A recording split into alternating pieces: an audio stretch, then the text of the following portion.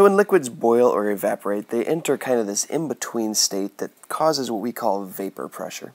So when molecules leave the surface of a liquid and enter the gas phase, they end up creating a pressure because gases cause pressure, and that pressure is going to push down onto the surface of the liquid.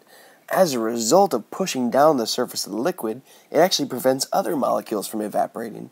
And so in order for something to boil off, it has to not only gain the energy to break its intermolecular forces, but it also has to overcome the vapor pressure on top of the liquid surface.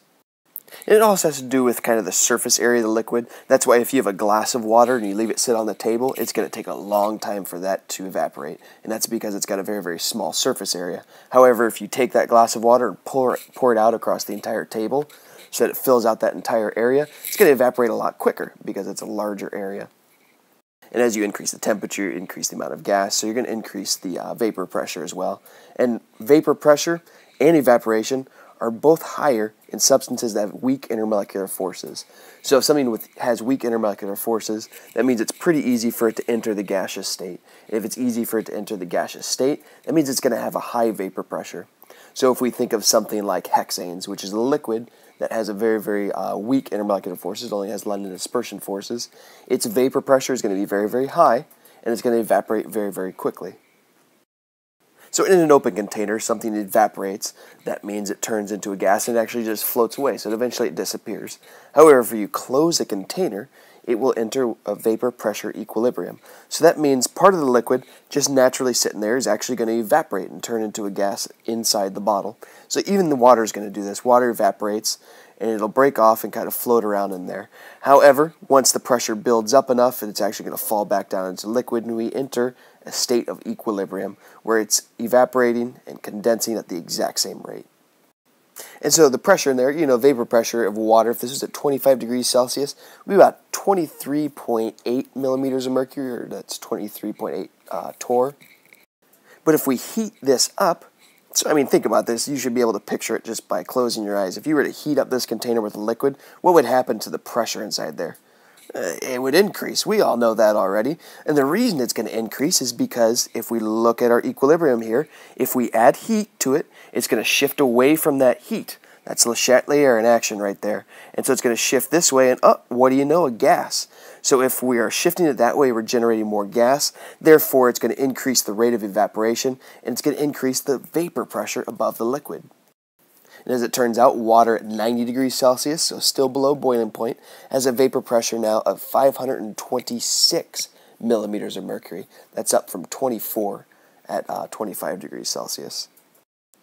Okay, so that vapor pressure that's forming above the liquid also has to overcome atmospheric pressure. So remember, we don't really feel it, but there's air all around us. And that air is pushing down on us with 15 pounds per square inch. And liquids need to overcome that too. So when they try and boil, they need to push up against that air so they can turn into gases and float away. So a boiling point is the point where vapor pressure equals the atmospheric pressure. So if atmospheric pressure is about 15 pounds per square inch, boiling point of water would be the point when the vapor pressure of water also reaches 15 pounds per square inch.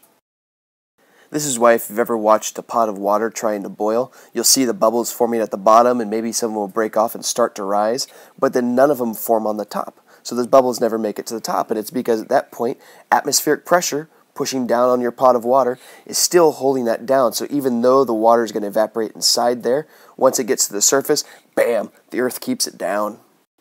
This is also why water boils at lower temperatures at higher elevations. Because if we go up into the mountains, you're going to have less air stacked on top of you, so the atmospheric pressure drops. And as a result, if the atmospheric pressure is lower, it's going to require less energy or less vapor pressure to overcome it. So if the atmospheric pressure drops to 10 pounds per square inch, you're only going to need 10 pounds per square inch of vapor pressure. And here you can see, so at sea level, water boils at 100 degrees Celsius. As you move up, so Boulder, Colorado, the Mile High City, water is going to boil there at 94 degrees Celsius. As a result, things just tend to take longer to cook. Uh, Mount Everest, 70 degrees Celsius. Take a long time to make a pot of spaghetti on the top of Mount Everest. So stronger intermolecular forces require more energy to break free from the liquid state to enter the gaseous state. And so if it requires more energy to break free, then it's going to require more energy to cause the vapor pressure to equal the atmospheric pressure. So if none of those liquid molecules can break off and turn into a gas, there's no way to increase the vapor pressure. And so you've got to keep putting in energy until it hits that state.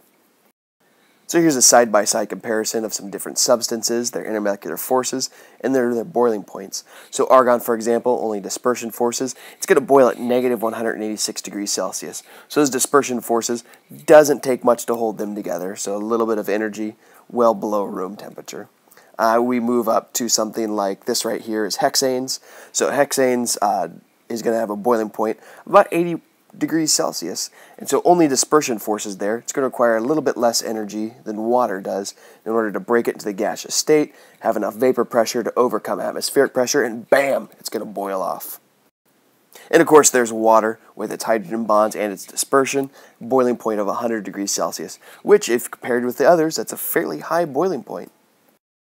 There's also another uh, phase change called sublimation, and this is when solids evaporate directly into a gas. So instead of going into a liquid, then to a gas, they just do essentially the same thing. So they create a vapor pressure, overcome atmospheric pressure, and float away. However, since uh, the intermolecular forces are stronger in solids than they are in liquids, usually vapor pressures are fairly low with solids, so ice has a very, very small vapor pressure. But substances that have weak intermolecular forces are going to have higher vapor pressures with their solids. So something like carbon dioxide, which is a linear molecule, so it's only going to have the uh, dispersion forces, has a pressure or vapor pressure of one atmosphere at 25 degrees Celsius. Hey, one atmosphere, that's standard pressure in a room. So this is why dry ice sublimates, goes directly from a solid to a gas, because at 25 degrees Celsius, its vapor pressure already equals the atmospheric pressure. It doesn't need to go to a liquid. you think ice has a low vapor pressure? If you want to talk about low vapor pressures, talk about ionic solids. Those suckers have really strong intermolecular forces, and so their vapor pressures are going to be extremely, extremely low. If you want to turn these guys into a gas, you got to give them a lot of energy.